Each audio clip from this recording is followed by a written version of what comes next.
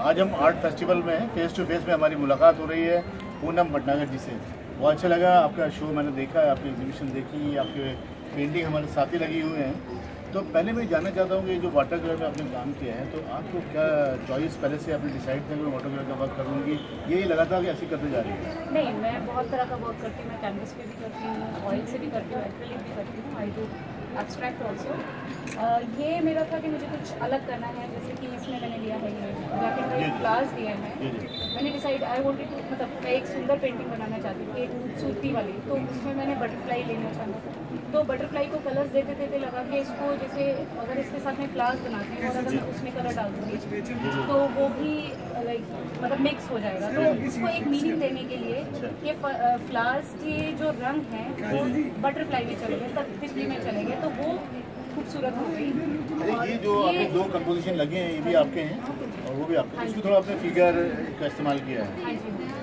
तो क्या अच्छा फिगर जो है कुछ कहीं से इंस्पिरेशन है? हाँ ये मैं थोड़ी सी इंस्पिरेशन लेती हूँ। ये एक माइथोलॉजिकल बुक्स होती है बच्चों की छोटी छोटी बुक्स होती है। उसमें पढ़ के और जो पहले पुराने टाइम पे चलता था ये जो रानियाँ आपस में मिनीचर स्टाइल का हाँ जी थोड़ा रानियाँ एक दूसरे को तैयार करा राजा की बहुत रानियाँ होती थी तीन तीन चार चार रानियाँ। थी वो एक दूसरे को मतलब उनमें इतना बॉन्डिंग होती थी कि वो एक दूसरे को ही तैयार किया करते थे। आजकल के टाइम में ऐसा नहीं हो सकता।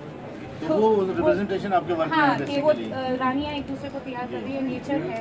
अच्छा ये जो फॉर्म आपकी सारी ज़्यादा ब्लैक एंड व्हाइट फॉर्म है पूरा बैकड्रॉप जो है पूरा कलरफुल है ऐसा क्यों है मतलब आपने?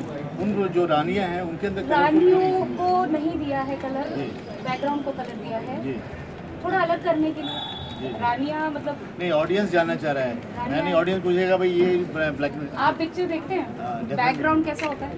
जब बैकग्राउंड कभी दिखाते हैं। बनाए? ब्लैक एंड व्हाइट में होता है। अच्छा। अगर किसी सीन का बैकग्राउंड है दिस इज़ आर बैकग्राउंड अच्छा। ये हमारा बैकग्राउंड है नारी पुराने टाइम की है जी, सारी जी। जो अब नहीं है तो अच्छा। उनको मैंने ब्लैक एंड व्हाइट दिया है। अच्छा अच्छा। एंड मैंने नेचर को कलर दिया है ताकि वो अभी भी लाइव है हमारी तो कहीं ना कहीं सोसाइटी में टाइम से आप ये काम कर रही हैं किस तरह से काम ये मैं काम कर तो बहुत पहले से रही हूँ अच्छा। करती थोड़ा प्रोफेशनल आ गई हैं एग्जीबिशन करने लगी हाँ और आपने इसके लिए कोई कोर्स वगैरह किया है आपने इस तरह का ये सब सेल्फ ये है आप? हॉबी से प्रोफेशनलिज्म में आ गई। है बहुत अच्छा ये आपने पूनम जी ने पूनम भंडागर जी ने जो आपको बताया आपके ऑडियंस के बारे में इससे कहना चाहता हूँ कि जो इनका वर्क है एक डिफरेंट स्टाइल है इनको वाटर कलर का ट्रीटमेंट इन्होंने डिफरेंट तरीके से दिया है और ये पेंसिल का वर्क इन्होंने हाईलाइट किया। नॉर्मली क्या होता है लोग पेंसिल से ड्रॉ करते हैं उसके अंदर फिलिंग करते हैं। इन्होंने पेंसिल से use shade and tone three D effect और फॉर्म डेवलप किए। हाँ बहुत अच्छा लगा वेरी नाइस आप कंटिन्यू ऐसे करते रहिए और आपसे मुलाकात रहेगी फेस टू फेस में अगेन